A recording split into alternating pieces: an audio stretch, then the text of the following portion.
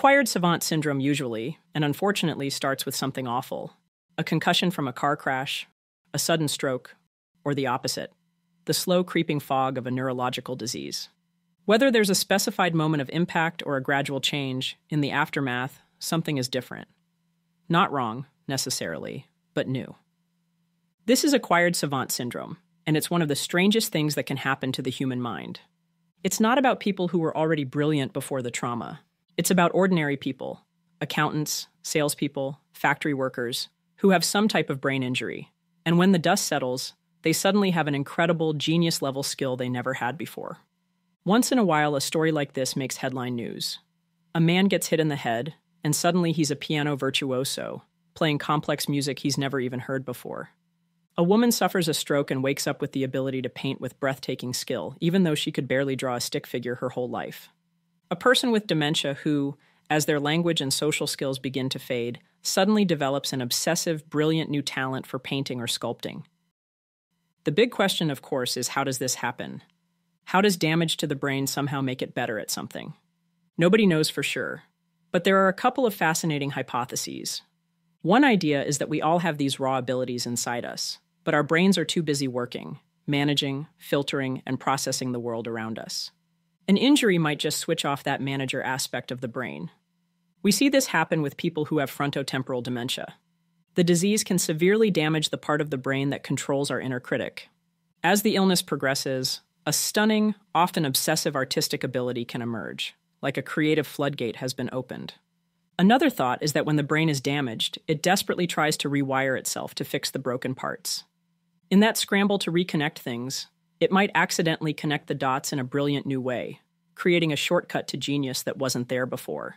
But what's it like for the person and their family? When it comes from an accident, it's a shocking new reality to adapt to. But when it emerges from a disease, it can be a strange and heartbreaking trade off. A brilliant new gift appearing just as the person you once knew is starting to fade. They gain a new way to express themselves, even as they lose others. It's a powerful, unsettling thought that inside the ordinary mind we walk around with every day, there might be an accidental genius just waiting for the right wires to cross. Picture the face of someone you love. See their eyes, the curve of their smile, the features you know as well as your own name. It's an image that feels whole, instant, and deeply familiar. Now imagine looking at that same person and seeing only a collection of parts two eyes, a nose, a mouth, all clear as day. But the recognition, the part that tells you that you know who they are, is gone. The face holds no more meaning than that of a stranger you pass on the street. This is the daily reality for someone with prosopagnosia, a baffling neurological condition more commonly known as face blindness. It's not a problem with vision. A person with prosopagnosia can describe a face in detail the color of the eyes, the shape of the jaw, the presence of a scar. But their brain can't assemble those pieces into a coherent, recognizable identity. Every face, from their closest family member to a famous celebrity, is new every time they see it. To navigate the world, they have to become detectives of identity. They learn to recognize people by a constellation of other clues a unique hairstyle, a particular pair of glasses, the sound of their voice, the rhythm of their walk, or the clothes they usually wear. A meeting with a friend can turn into a moment of anxiety if that friend gets a new haircut or even changes their coat. Every social gathering is a minefield of potentially offending someone by not recognizing them. This condition can be something a person is born with, going through life thinking they're just bad with faces, or it can happen suddenly after a stroke or a brain injury damages a tiny specialized neighborhood in the brain responsible for facial processing. Perhaps the most unsettling part of prosopagnosia is what happens when a person looks in the mirror. Many report a sense of disconnect, of seeing a stranger looking back at them, even if just for a moment, before logic and context kick in to remind them who they are. It's a profound glitch in the brain's architecture of identity. Prosopagnosia is a stark and intimate reminder that one of our most fundamental human connections, the simple act of looking at another person and knowing them, hangs by a fragile neurological thread. It reveals the incredible work our brains do every second, assembling a world of familiar faces we so easily take for granted. If each person is the star of their own television show, visual snow syndrome ensures that some viewers can never quite get a perfect signal. Over every image, every sky, every room, every face, there is a persistent layer of static. Tiny, flickering, colorless dots swarm your entire field of vision, like a fine layer of sand being constantly thrown in front of your eyes. When you look at a clear blue sky, you see a buzzing texture. When you close your eyes in a dark room, the static is still there chaos where there should be peaceful blackness. Welcome to the world of visual snow syndrome. For those who have it, this constant visual static is the inescapable backdrop to their lives. But the snow is often just the beginning. The condition usually brings a host of other strange disturbances with it. Many experience palinopsia, where images linger like a visual echo, long after they're gone. Bright lights can be painfully overwhelming, a condition called photophobia. And for many, the noise isn't just visual. They also live with a constant, high pitched ringing in their ears known as tinnitus, meaning that even silence is never truly silent. The strange truth of visual snow syndrome is that the eyes of the people who have it are often perfectly healthy. The problem isn't in the lens or the retina. This is a neurological condition, a disorder of how the brain processes the signals it receives from the eyes. It's like the brain's visual volume knob is stuck on 11, amplifying all the background noise that should normally be filtered out. For decades, this was a deeply isolating and misunderstood condition. Sufferers would go to doctors and describe their static filled vision, only to be told their eyes were fine. They were often dismissed, told it was just anxiety, that they were imagining things, or that they were simply noticing the normal floaters everyone sees. They were living with a constant, undeniable reality that the medical world refused to see. Only recently has visual snow syndrome been recognized as a distinct and legitimate neurological disorder, giving validation to the thousands of people who knew something was wrong but had no name for it. It's a reminder that what we call sight isn't just what our eyes see, but what our brain chooses to show us. And sometimes that signal gets corrupted. Think back to a specific date, say September 14th, five years ago. Do you remember what you were doing, what the weather was like, what the big news of the day was? For most of us, the past is a soft focus blur, with only the most significant moments standing out.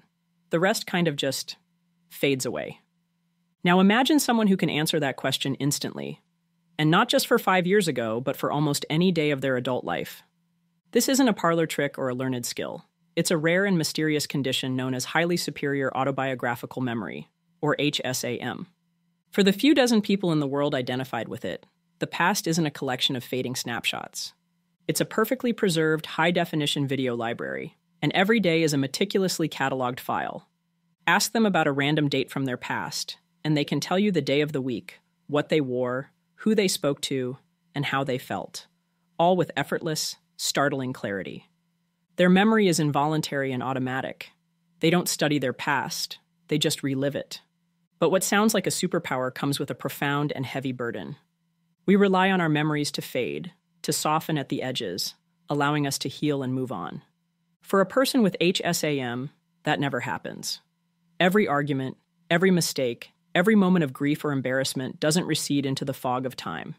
It remains permanently on deck, playing back with the clarity and emotional punch of it happening all over again. The emotional scar tissue never fully forms. Scientists are still trying to understand how this is possible. Brain scans show that people with HSAM have structural differences in the parts of the brain related to memory, with supercharged connections between the areas that store facts and those that store feelings. It's not just that they have a better memory, their entire relationship with their own past is fundamentally different. They are living timelines, walking archives of their personal history. Their extraordinary ability makes us ask a fundamental question about ourselves Is our imperfect, fading memory a flaw, or is it one of the most human things about us? A merciful way our mind works that allows us to let go and live in the present. The room is quiet and filled with the kind of resigned stillness that surrounds the end of a long life. A loved one, perhaps someone whose mind has been clouded for years by the fog of dementia, lies in their bed. They haven't recognized family in a decade. They haven't spoken a coherent sentence in ages. They are, for all intents and purposes, a ghost in their own body, and the family has already grieved the loss of the person they once knew. But then the seemingly unthinkable happens. Their eyes open, and for the first time in years, they are clear. The fog is gone.